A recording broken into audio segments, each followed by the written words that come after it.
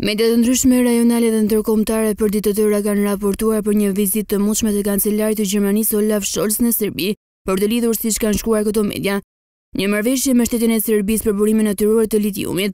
Ndonëse një vizitë e tillë nuk është konfirmuar ende për ministren e Punëve të Jashtme të Kosovës, Donika Gërvalla, ky do të ishte një gabim i radhës që Gjermania do të bënte pas asaj me Rusinë, e cila kishte lidhur marrëveshje për gazin rus duke mos i llogaritur fare tendencat hegemoniste të Kremlinit zyrtar ndaj fqinjëve të tij.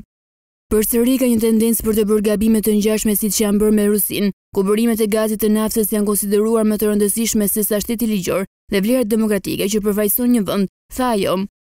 Gërvalla ndërsa potencoi se Serbia nuk ka as përafërsisht burimet e litiumit të cilat, sipas saj do ta shpëtonin Gjermaninë apo Bashkimin Europian nga disa ngushtica rreth burimeve të litiumit, vlerësoi se me një vizitë të tillë Berlini zyrtar mund të dërgojë një mesazh të gabuar.